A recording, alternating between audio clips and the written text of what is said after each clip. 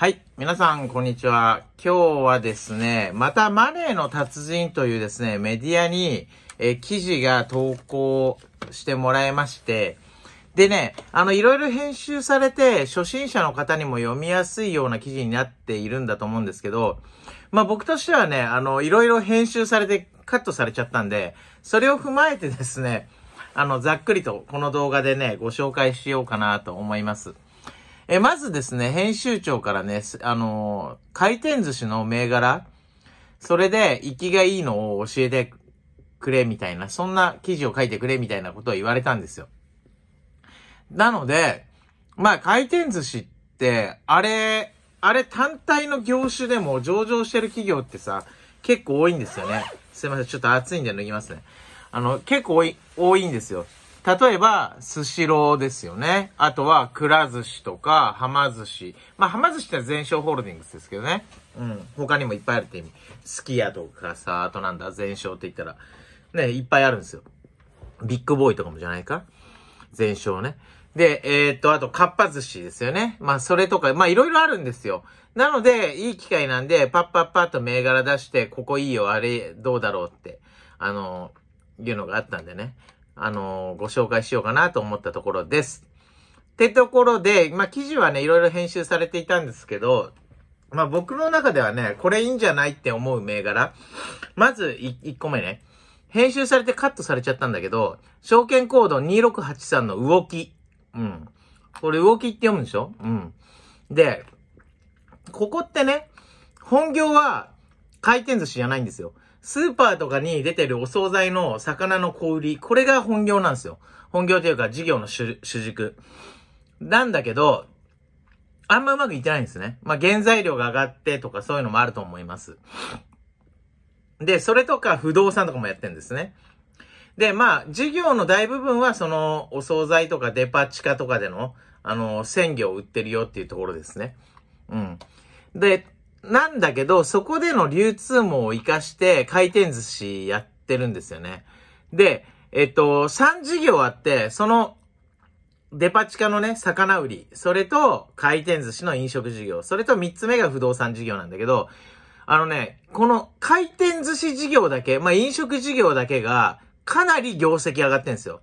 他は全然、あのー元気がないんですけど。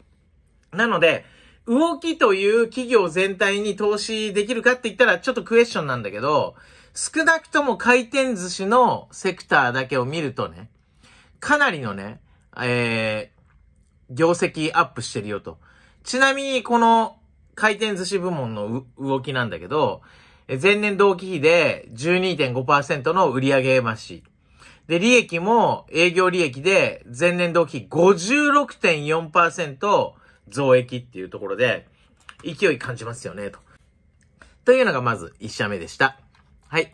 えー、二つ目ですね。二つ目はね、やっぱり有名なくら寿司ですかね。うん。くら寿司といえばってとこなんですけど、まあ、やっぱりね、ガチャポンですよね。うん、ガチャポンで有名じゃないでしょうかね。で、えー、まあ、こちらなんですけども、あの、かなりね、その、エンタメ、ほんと子供向け、子供が喜びそうだなっていうようなね、そんな取り組みをしっかりしているし、あとホームページとか見るとね、やっぱりね、すごい綺麗に清潔感保ってますよっていうのを PR してるんですよね。で、ただなんですけども、あ業績は低迷中。うん。で、海外にもね、結構展開しているんですよね。で、今後ね、アジア、アジアでのね、売り上げだけがね、伸びてるんですよ。日本と北米、アジアでね、セグメント分けされてて、アジアだけはかなり伸びてる。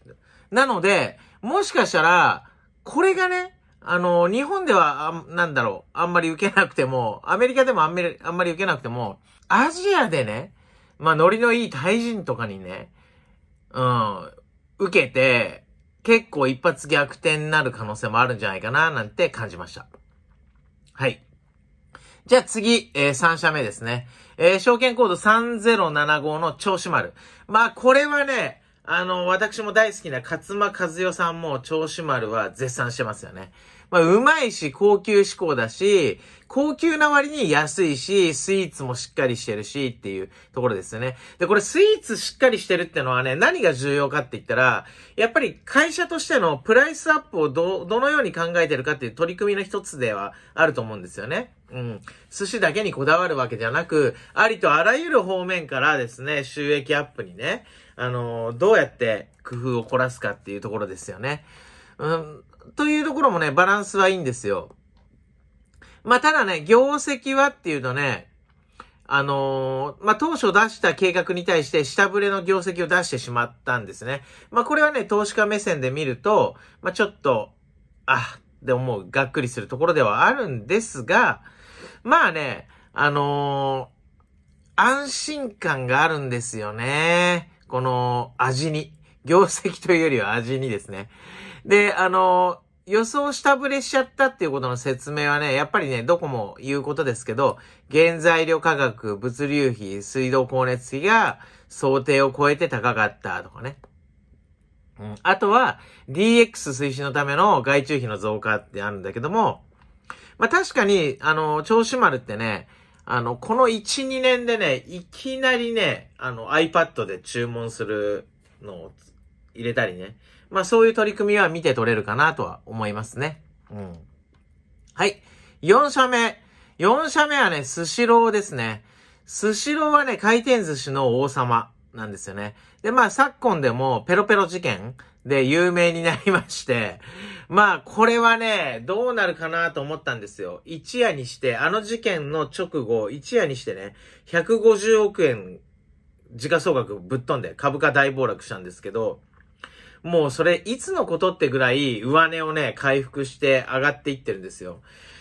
で、まあこれはね、本当にいろんなインフルエンサーが、なんだろう、スシローってどんなんだろう、行ってみようってなって、実際食べに行ったってのもありだったと思うんですよね。それもすごく不幸中の幸いに働いた。まあもう一個なんですけど、やっぱりね、今、あの、回転寿司っていうこと言ったけど、外食とか、まあ回転寿司もそうなんですけど、外食、インバウンドがかなりね、好調ですね。うん。で、これの、あの、あお、煽りとか追い風をまあ、スシローも受けてっていうとこですね。業績自体は、今出ている業績はそんなにいいものではないんだけども、まあ、このね、低迷っていうのは、あの、おとり広告でね、去年捕まりましたね。捕まったっていうか、注意を、指導を受けたと思うんですね。これによる、あの、客離れっていうのがあったとは思うんですが、まあ、私もよく食べに行くんですが、あの、非常にね、メニューがね、そこからも良くなっているんですよね。うん。美味しいし、安いしっていうところでいいんじゃないかなと。で、僕はね、スシローのやっぱり一番の特徴はね、DX の取り組みが一番しっかりしてると思うんですよね。まず待たないで済む。そんな長々と。それから、え自動会計。これも好感持てることですよね。うん。ということでね、やっぱりね、あの、スシローまだまだ勢いあるんじゃないかなと感じましたね。はい。えー、次ですね。えー、5社目かなえ証券コード7421のカッパクリエイト。これはね、コロワイド参加のカッパ寿司ですね。はい。で、このカッパ寿司の業績は非常に残念だ。非常に成長もしてないし、赤字ガンガンだし、うん。でね、その理由はっていうところで、いつもいつもね、あの、他の会社でも言うようなこと言うんですよ。えっ、ー、と、例えばですよ。コロナ8波による感染症再拡大、ウクライナ情勢や円安を背景とした原材料価格や光熱費、物流費及び人件費の高騰を要因としたコストアップを理由にしてって、ね。だけどそれさ、どの会社も同じじゃん。僕はね、はっきり言って、かっぱ寿司に関してはね、ぶっちゃけ、あの、味は随分、10年前、20年前に比べたら改善されてんだけど、僕は一時ね、人類最後の食い物って思うほど、二度と行かないって思うほど思ったことはあるんですよ。うん。で、今ね、そこまでまず、まずさはかなり改善されてて、まあむしろ美味しいんだけども、だけどさ、毎年毎年変なニュース出してるでしょ例えば、えー、去年で言えばね、かっぱ寿司の社長が全商ホールディングスから社外機密を、あのー、盗んで持ってきてね。そして、はま寿司との比較とか言ってやったりとか、あとはなんだっけ、その前はさ、半額セールで、なんと20時間待ちとかニュースを出したりとか、はっきり言ってこういうことを出してしまう風土。まあ、そこにね、まあ、大きな問題があるんじゃないかなと、個人的には感じます。まだまだ、あのー、ちょっと行かなくていい寿司屋かななんて、個人的には思っちゃいますね。はい。まあ、そんなの書いたけど、大量に編集されてましたね。はい、次です。えー、証券コード9828元気寿司。はい。私ね、隠れてここほんと大好きなんですよ。でね、やっぱね、業績すごいですよ、これ。まだね、順利とかは去年よりも、あの、成長は見えてない部分はあるんですが、売上は前年度比20%増しで、えー、営業利益、経常利益に関してはね、前年度比308%ですからね。これ300%超えてるってね、すごいですよ。4倍だよ、4倍。対前年比4倍。うん。これはね、なんか今後ちょっと楽しみだなと思うんですね。まあもちろんね、あの、寿司ってさ、味だけではない、あの、味は大事です。で、味だったらもう元気寿司とか、その店内のオペレーションとかもすごいしっかりしてるんだけど、DX とかいろんな取り組みっていう面でね、まあ、海外進出はっていう面でね、あの、やっぱ寿司ローがすごい強いかなとは思うんですが、まあ、ちょっとね、元気寿司にもね、意外なね、ちょっと勢いというかパワーを感じちゃったと。まあ、そんな記事をね、バッと書いて、今バッと説明させていただいたんですが、よかったらその、えー、マネーの達人だっけ？そのメディアに投稿したんで見ていただければなと思います。一応ノートにもね、無料記事でポイって貼っといたんで、見といてください。それではありがとうございました。